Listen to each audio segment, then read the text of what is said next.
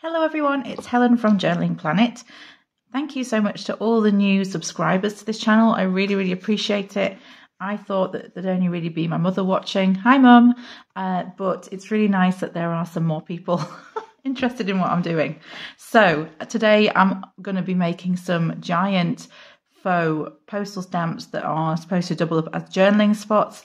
And when I say giant, folks, I mean in comparison to this. Okay, I'm in comparison to an actual postage stamp. They're not giant as in, you know, a giant could use them. So um, we've got some cardstock here that was just in the back of one of those do not bend envelopes. Um, and I'm using, I'm going to link to the video um, of this YouTuber that inspired me with their vintage stamps. Of course, the name completely escapes me right now, uh, but I will link to the video below and I'll tag them when I post this video because their style is is kind of what is inspiring this aesthetic that I'm going to create today. Um, and all I'm doing really is I'm I'm upscaling the size of the stamps so that they can be used as journaling spots. First thing I'm going to do is, um, so I started off with an eight and a half by six piece of card and roughly cut them into. That was it. And now I'm going to quickly cover them in brown paper bag. And yes, of course, I'm going to speed this bit up because you've seen someone cover cardstock with brown paper bag before.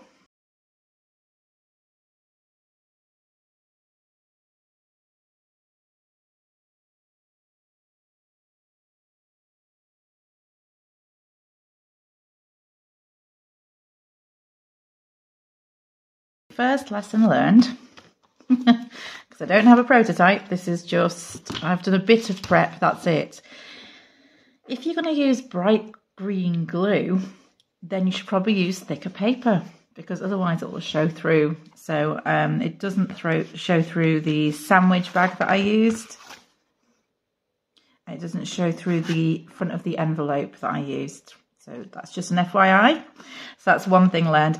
I'm not worried about this because thankfully the key to this project is going to be layering. So almost all of this is going to be covered and I'm going to trim around the edge to give that uh, kind of perforated stamp look with my pinking shears. So there's really not going to be much green left on show. There might be a bit, hey ho, that's the way the cookie crumbles. Uh, the next thing is you need to think before you do anything else, need to think about your layers. Now, in the video that I watched, um, we had some layers of black, which I thought looked really good. When I'm cutting these, I didn't measure. It's probably obvious I didn't measure. When I'm cutting these for the first layer, I need to bear in mind that I'm going to cut a wavy line all around the edge here. So this is going to this is going to shrink. The border around it's going to shrink considerably. So I definitely need to leave a good chunk of space around that black first layer. And then in this uh, next layer, um, book page was used, I think, in the video that I watched. And I just got this dream diary. It was um, 79 pence from a thrift store and it had been reduced and reduced and reduced and I could just see where it was heading. It was heading to landfill or to recycling at the very best. So I decided to rescue it and that's going to be my third layer. I'll just show you how I'm going to put it together and before I do glue it all together and show you the final result. And then I'm going to get on with some stamping and some oh, painting and all kinds of things to, to jazz it up. A bit of washi as well. But I've got these images from a children's dictionary, yet another charity shop book that was a thrift store book, you know what I mean? That was looking as though it was about to um, be thrown in the bin. So it's a lovely sunflower image. I've got some washi tape I could put behind it before I glue it down. So I'm going to put this together. Uh, before I do that, however, I'll just show you how I cut these bits without actually properly measuring it because uh, what do we want to avoid? Measuring. when do we want to avoid it? Now. so for these, because I wanted to get them roughly the uh, right size. First of all, I took a piece of, I, I don't know how long I've had this flat paper, by the way, probably about a decade. I've had it since I worked in schools. I used to use it in projects for my students, uh, you know, creative projects, and I was left over with a stock of it, and I thought I'll definitely use that. uh, but I haven't. So I'm going to go to the next one because that's probably the one that I'm going to use this on. And I'm going to remember that I'm going to level up like this. So it helps when I'm in frame. Level up like this. I'm going to remember that however much is left here, it'll be half that amount because it's going to sit in the centre. Okay, so I probably want a good chunk, about half of that around the border would be good for me. I'm going to flip it over. This is all to avoid measuring it. You can just measure it. I just hate measuring. And then if I just trim along there and along there, and then if I cut this in half, because this is for two, I folded it in half. Okay, so we'll just okay. And then when I put it down, it's roughly the right size. And again, remembering that I'm going to trim around the edges here, so it's going to get even shorter, this border. So that is about the right size for what I'm going to do with this. And then when I come to do my book page, the next layer, I'm doing exactly the same technique. I'm looking for a page that's quite text heavy. Uh, it doesn't matter too much, actually. I'm slightly overthinking that. But there we go. We'll just take this one and then tearing that out. It's the same technique. First of all, I'm going to cut around all the white space because I don't want any of that on. Okay, and then again, I'm going to position it like I did, remembering that the space that I leave here, it's going to be about half that amount. It's going to sit in the centre. Okay, I'm going to push it over. It's going to be equal all the way around. So I'm going to just uh, say that about half of that would be perfectly fine. Flip it over and just trim off the edges. And all these scraps will go into my scraps box and they will get used for something else, probably a snippet roll or some such. Okay, maybe a collage. And then when I turn it over, that is about the right size. So I've got layered up quite easy. And I didn't have to do any measuring,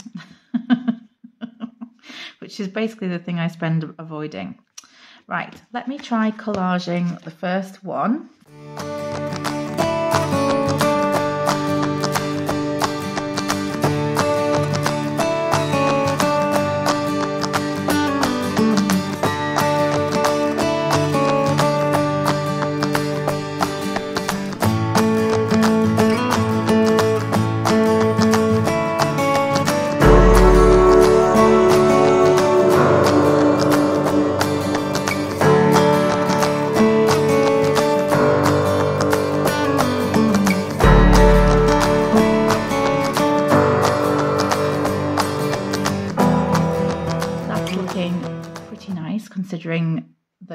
Actually forgotten my sponge to um, do the inking properly. Um, I'm going to nip and get that in a second. It's looking uh, looking quite nice overall. And this really is only the beginning bit. This is really just the start of the project. This was just a stray piece of washi tape off this roll, which I think I got from the washi shop. It's absolutely gorgeous. Um, a mixture of text and, and flowers on a sort of vintage tea dyed colour. I use it often. Um, and other than that, just a tiny little strip of washi tape there. Um, just a little floral motif uh, just to go with the other floral things that are going on in the in the design. But I do think that looks really nice already and haven't even actually started with any embellishments. It does look slightly off centre because of the way I've cut it. It's not my sticking, it is the cutting around. So um, yeah, it's a handmade object, but that's okay. Um, so let's see about some stamps to begin with. Let's do some postmark stamps.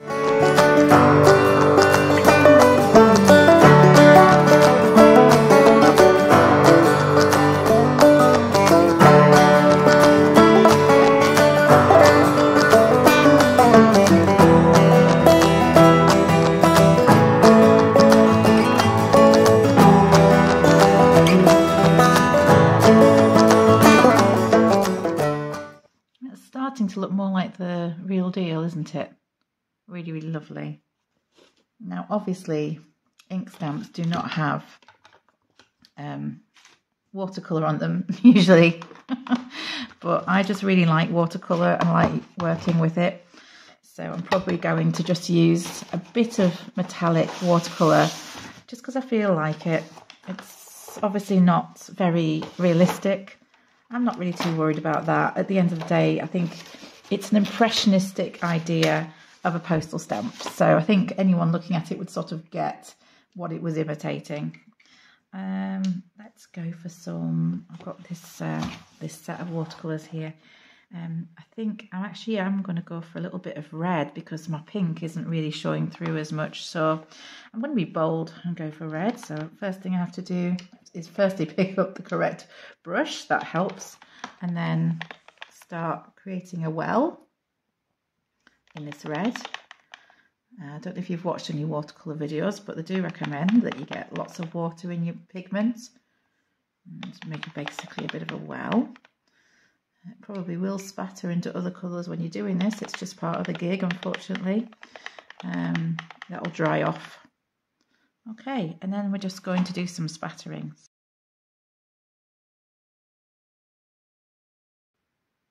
Lovely. That's going to be set aside to dry. The watercolour will not take very long, thankfully, so that'll be dry fairly quickly. I think we've got time to do one more. I don't want to uh, keep this video going too long, but let me just get my layers assembled. Right, it was definitely necessary to have a bit of a tidy off camera there. So this is the one, uh, this is the other side of the envelope. So you get to this point and all of its reclaimed materials. You could actually use any paper you have in your stash to lay this up. Had some wallpaper sitting to the side here that I thought hoped I would get round to, but if I start doing every possible incarnation of this, of course, we'll be here for the rest of time. So I'm just letting you know that I'm following that particular style from the YouTube video I mentioned. I love it. Um, it looks wonderful, um, but there are lots and lots of things that you can do that are not that. So just letting you know. Just use what you have. If you don't have access, why would you, to a children's dictionary, an illustrated children's dictionary to get photographs like this, and you maybe don't have any stamps like this, which is what I'm going to demonstrate next, you could literally cut the characters off a cereal box and put them in the middle and embellish from there and make them a postage stamp. So you could cut a magazine image out. It's just anything you want. A junk mail image out. There's just whatever you want, okay? So I'm going to stamp and paint and then I'm going to make that the focal point and then I'm going to add some more stamping like I did last time once the um, once the paint has dried. And in retrospect, it would have been more sensible to do these the other way around so that this could have uh, dried whilst I was making the other one. You see, I just don't really have that thing that tells you what order to do things in.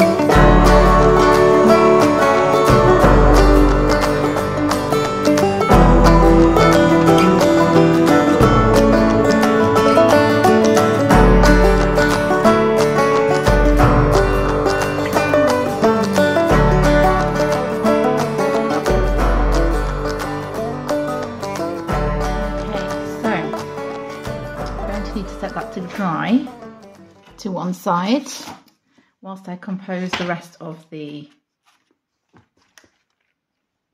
card. So we'll put that to one side and I'll quickly glue together all the other pieces that I'm going to use.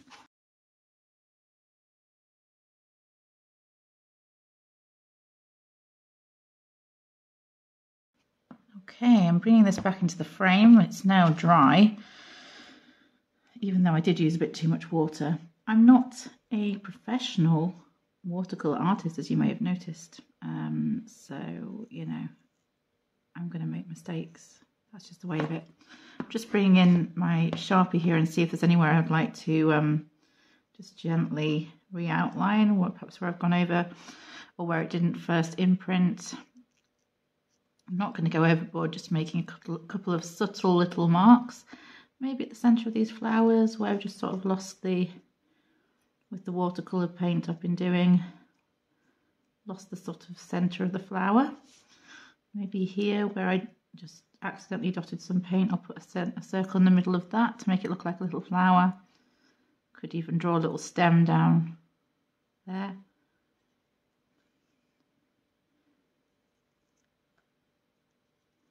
Okay, so just to sort of show you that it's okay to do touch-ups afterwards and it looks quite cute. So I am going to glue this down and then we're going to do a few more embellishments like we did with the other one. So I'll quickly get this glued down I'll just speed it up. And just for comparison, I decided to ink this one. This what in the original video, the, the edges were inked, you know, this bit of book page here. And I think having tried both, I probably do prefer the inks, the inked version, but I would say it's quite subtle. So either way, it's fine. If I wanted to, I could go around with a pen on this sunflower and make a little border. Okay, let's get this baby finished off. I'm actually thinking for this, I want to do something with a bit of fabric or lace, because why not? It's not a real postage stamp. it's a junk journal postage stamp, so I can do whatever I want, even though, of course, something like this would never appear on a real postage stamp.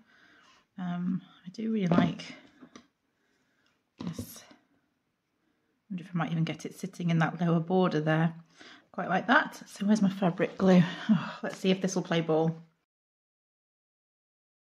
I kind of like the way that interrupts the black border.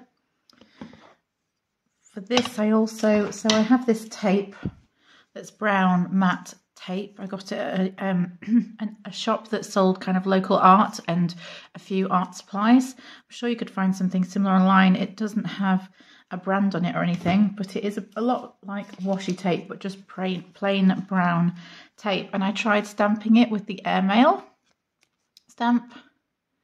It came out really nice. What I'm not sure of is if I really want something this big, maybe across the edge like that. I think what I want to do is tear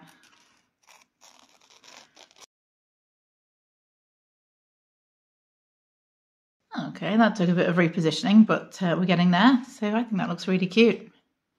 But I did need to tear it down from its original size. Let's do a couple of other stamps.